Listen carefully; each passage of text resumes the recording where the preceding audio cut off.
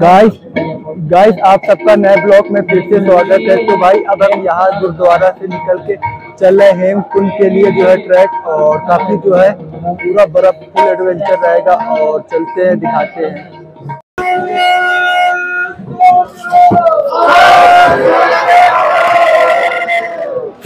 तो अभी जो है हम हेमकुंड साहब के लिए, यात्रा के लिए, ट्रैक के लिए यहाँ से भाई निकल चुके हैं। और ये देख सकते हो, कुछ अभी ऐसी रास्ता है। और अभी सुबह के जो है छः बजे छः बजे से शुरू कर दिया है ताकि जो है जल्दी हम पहुँच जाएँ और जल्दी पहुँच के दर्शन मत्था टेके और मत्था टेकने के बाद और फिर हमको यहीं आना पड़ेगा क्योंकि वहाँ पर जो हम रुक नहीं सकते हैं और ये दुकानें भी मिल जाएँगी। आगे दुकानें नहीं हैं। यहाँ गुरुद्वारा के पास ही दुकानें मिलेंगी, ये देख सकते हो इधर से। और ये ये देखो भाई, ये देखो सामने दिख रहा होगा हिमालय पूरा। ये देख सकते हो पूरा ऐसा नज़ारा है एकदम।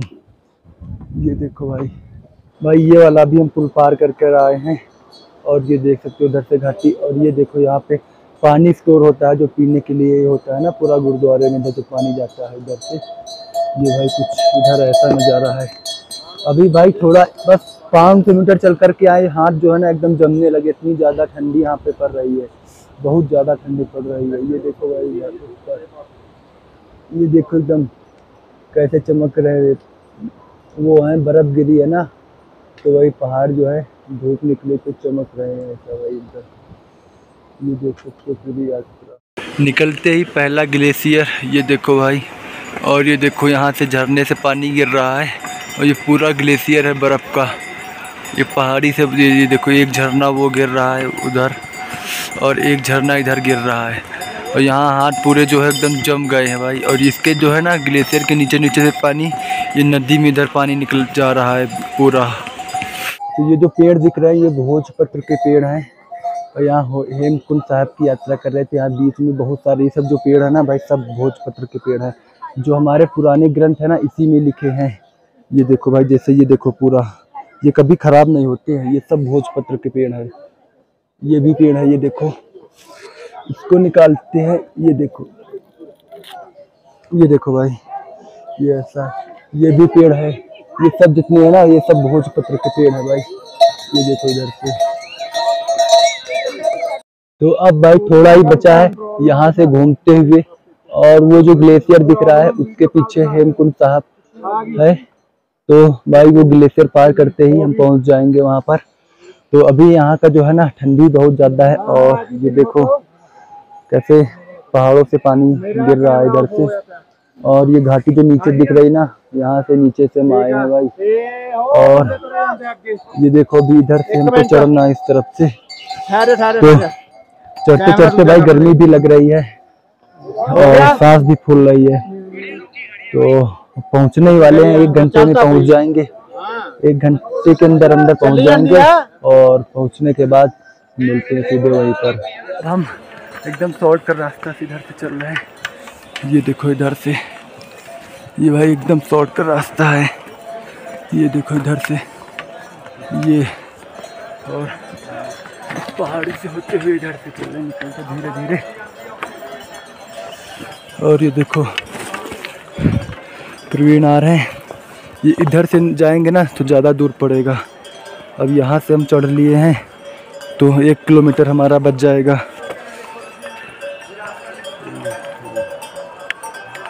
फॉल कट चलने में तो आराम रहता है, पर सांस ज़्यादा फूलती है इधर। ये देखो भाई, कैसे चढ़ना पड़ रहा है, क्योंकि पैर बहुत ज़्यादा रपट रहे हैं। तो इसीलिए थोड़ा सा आराम से इधर चढ़ना पड़ रहा है। तो ये देखो ग्लेशियर, और भाई ग्लेशियर को चीर के पूरी ये रास्ता बनी है, पूरा आगे तक जाना उस पहाड़ी को। ये देखो इधर से रास्ता पानी निकल रहा ग्रेस ये देखो दोनों तरफ़ बर्फ़ है। ये देखो है बर्फ़ ही बर्फ़। ये देखो बर्फ़ काट के जो है जीना बनाया गया है।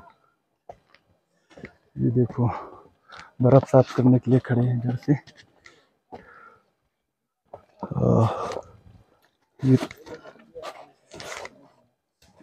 ये बर्फ़ की रोड देखो ये ये पूरे भाई बर्फ़ के जीना बने हैं। ये पूरा ग्लेशियर है इधर से। पूरा पूरा ग्लेशियर इसी तरह जो है, अभी तीन किलोमीटर और चलना पड़ेगा। बहुत पैर रपट रहे हैं, देखो भाई, हर जगह पर खड़े हैं। बर्फ़ को साफ़ करने के लिए, देखो इधर से। ये देखो भाई बर्फ़। पैर काफ़ी रपट रहे हैं। ये देखो। ये देखो बर्फ़।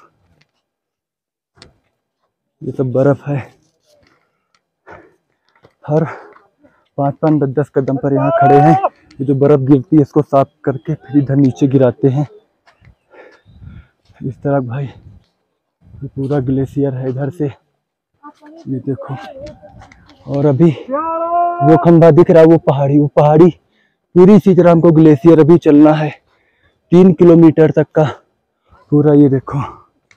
ये भाई देखो किसी ने क्या बनाया है भाई। ये देख सकते हो। कितना खतरनाक रास्ता ये देखो भाई पूरी बर्फ़ काट रहे हैं।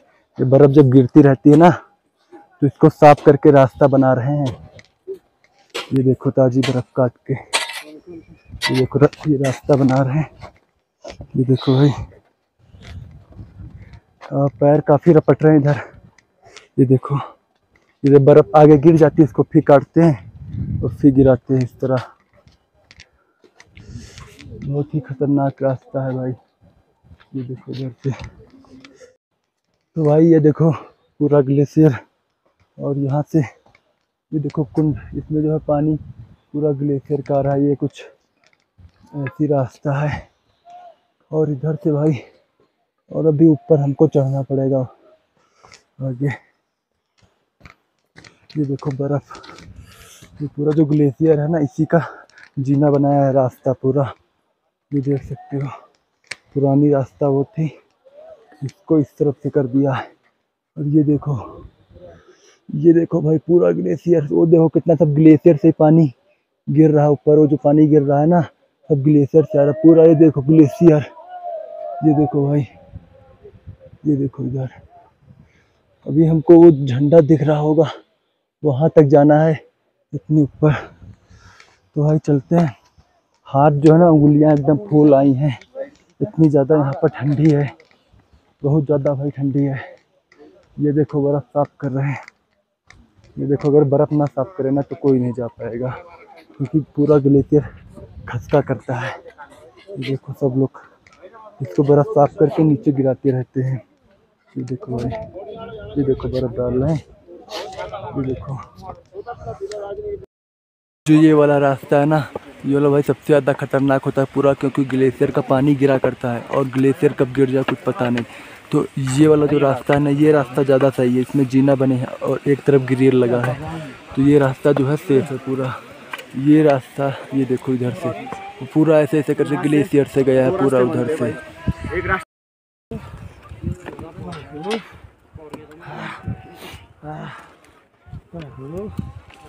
भाई, बहुत खतरनाक रास्ता है और अब बस थोड़ी दूर बचा है। ये देखो इधर से कितनी बर्फ़ है। लगभग बस वहाँ तक अभी और चलना है हमको। और पाजी? तो भाई बहुत सांस फूल रही, रास्ता जो है ना, एकदम पौड़ी वाली रास्ता है। एकदम ऐसे खड़ी चढ़ाई पूरी, सीधा। ये देखो, ये देख सकते हो कितनी बर्फ़ है, दोनों तरफ़।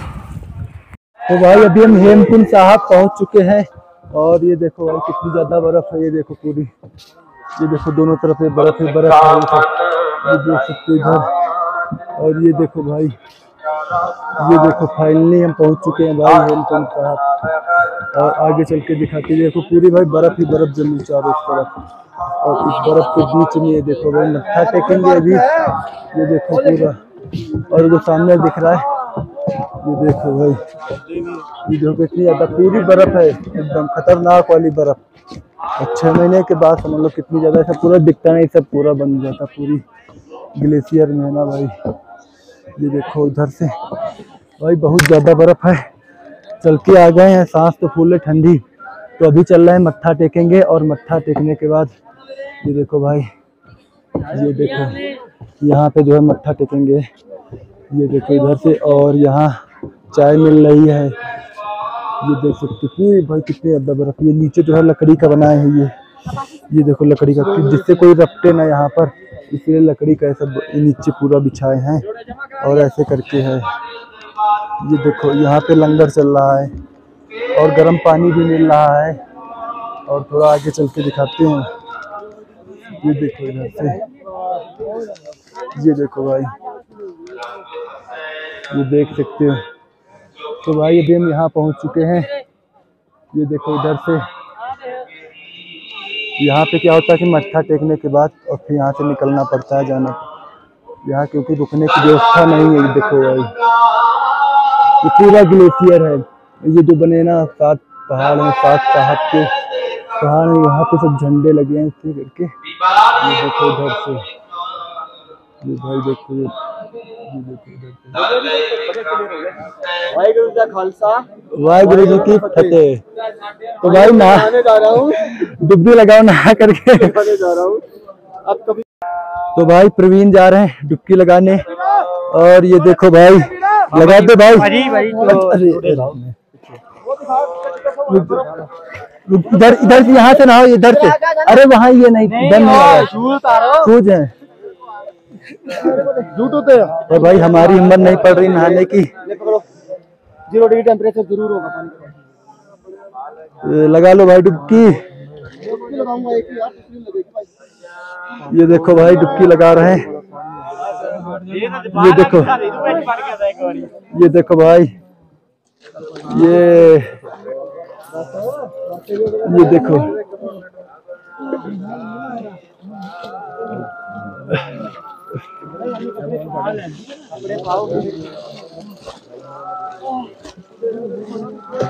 बस इसके बाद ठंड लग रही। शरीर पूरा सुन हो गया। अब इतना ठंड नहीं लग। संरचना व्यापे नानक खान व्यापे आद अंत जो रखन हार। लोग विचारा करे दिन रात। बाहर भी के अंतर मरमाया सुना किस करे छुपाया। तो यहाँ हेमकुंड के बगल में देखो जैसे कि ये है ना इससे ये रास्ते से आओगे। और ये देखो पूरी लेक है, पानी की पूरी लेक जो है बर्फ़ से जमी, और ये देखो पानी दिखा रहा होगा। ये जो बर्फ़ दिख रहा है ना, पूरा ये लेक थी पूरी जम गई है। और इधर भाई मंदिर है तो मंदिर चलते हैं। ये देखो पूरा बर्फ़ तो बर्फ़ ही बर्फ़ पिघल रही है। ये देखो लक्ष्मण मंदिर है तो लक्ष्मण मंदिर चलते हैं और दर्शन कराते हैं। तो ये देखो भाई लक्ष्मण मंदिर के लिए जस्ट यहाँ जब हेमकुंड आओगे तो इसके बगल में ही लक्ष्मण मंदिर है तो एक बार ज़रूर आकर के यहाँ दर्शन करिए। ये देखो भाई। पागल है पागल है। ये देखो। ये पूरी बर्फ़ ही जमी ये पूरी जो है ना ये दिख रही लेक है। पूरी लेक दिखाते हैं। आ, ये देखो लेक। ये पूरा वहाँ से वहाँ तक दूर तक जो दिख रहा है पूरा बर्फ़ से जम गया है इधर से। ठीक ये देखो पूरा ग्लेशियर है। और ये देखो ये हेमकुंड साहब जी का है। और यहाँ से ऐसे आओगे इस रास्ते से। और ये लक्ष्मण मंदिर है। ये देखो भाई इधर। तो अभी थोड़ा धूप निकली है। जब धूप निकलती है ना तो बर्फ़ और ज़्यादा टघिलती है।